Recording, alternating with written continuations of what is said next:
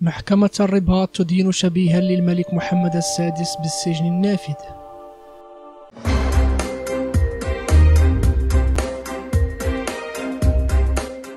السلام عليكم ورحمة الله. مرحبا بكم.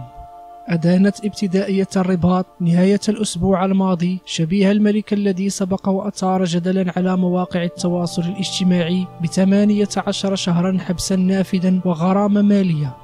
حيث توبع بتهمة النصب بعدما عاد إلى نشاطه السابق في التشبه بالملك والنصب باسم الشرفاء العلويين. بامتطائه سيارة فارهة ضبطت لديه مصالح أمن طنجة عشر بدلات أنيقة بربطات العنق. وحسب ما أوردته مصادر متطابقة فقد اقتنعت المحكمة بالتهمة المنسوبة إلى الضنين بعدما توفرت العناصر الجرمية في حقه حينما سقط في قبضة مصالح أمن طنجة. حينما تقدم نحو مصالحها بشكاية تفيد تغيير لوحات ترقيم سيارته من قبل مجهول.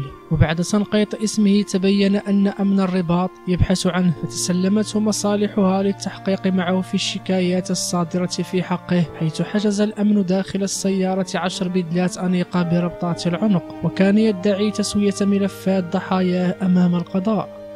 وأوضحت المصادر ذاتها أن الموقوف كان موضوع مراقبة أمنية قبل شهور بعدما أثارت صوره جدلا واسعا إثر دخوله إلى مطعم شعبي بحي يعقوب المنصور وارتدائه أزياء شبيهة بالتي يرتضيها الملك ما أثار ضجة بمواقع التواصل الاجتماعي. وتوارى الضنين عن الأنظار أربع سنوات بعدما كان قد قضى عقوبة سجنية قضت بها محكمة تطوان سابقا حيث كان يتجول بسيارة مكشوفة بالمنطقة تزامنا مع وجود الملك في المدينة وقيامه بأنشطة رسمية وبعد اعتقاله والتحقيق معه تبين تورطه في عمليات نصب واحتيال على مواطنين من مناطق مختلفة بوزان وتطوان والمضيق.